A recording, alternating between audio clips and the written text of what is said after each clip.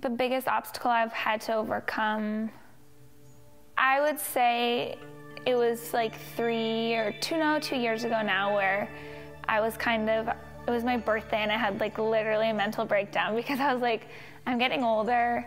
I have all these things I want to do.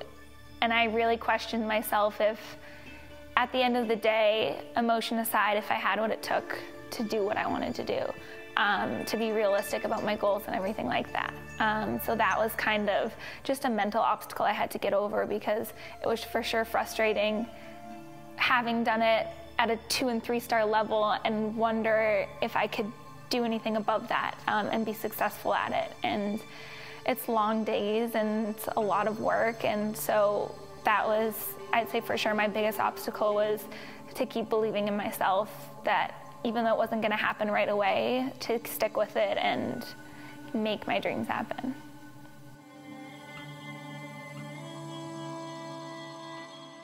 It's not easy being a young professional with all these dreams and hopes and desires and watching so many Grand Prix and wondering like if, I wonder if I had a horse like if I could do it. And it happened kind of by chance. I asked um, Casey and Quentin if they had stalls available because I had a few young horses and I didn't know what I wanted to do for the summer after Florida and it turned into me working for Double H and they gave me um, originally a horse named Donatella that Quentin had been showing. And my first week showing for them, I went to Old Salem and I had another horse too, Siska.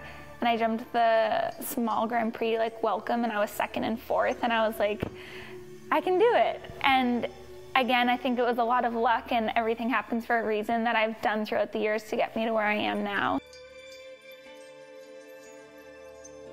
I think any young junior looking for a professional career would um, kind of think that I've hit the jackpot, and I'd say agree. Um, there, it's, it's a lot of work. We have young horses, and um, we're starting to have a few clients now that we're training. But I feel very lucky to be here to ride for the Harrisons when you think like McLain Ward, Rodrigo Pessoa, Darragh Kerins, Quentin Judge, and, and me. Like it's a little it's a little intimidating, but um, they've given me every opportunity um, to succeed, and I'm very grateful for that because I couldn't do it on my own.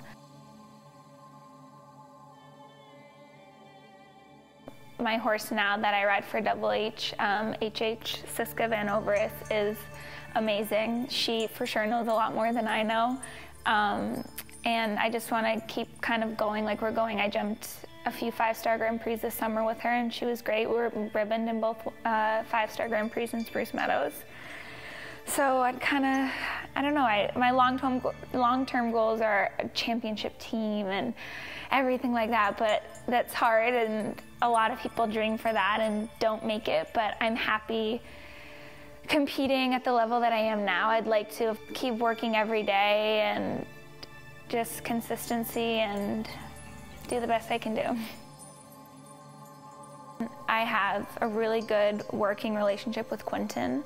Um, we're riding with each other every single day. So if it's an immediate kind of question about what I should be doing with my horses or something, it's great to have someone that I respect that much to kind of um, bounce ideas off the wall with and everything like that. Um, and then of course I have my mom where if I'm upset about something or if I have not the best round, she's always so supportive and um, encouraging and lets me know that she thinks I can do it, um, which is really nice to hear sometimes when you're kind of questioning yourself and a little bit down on yourself.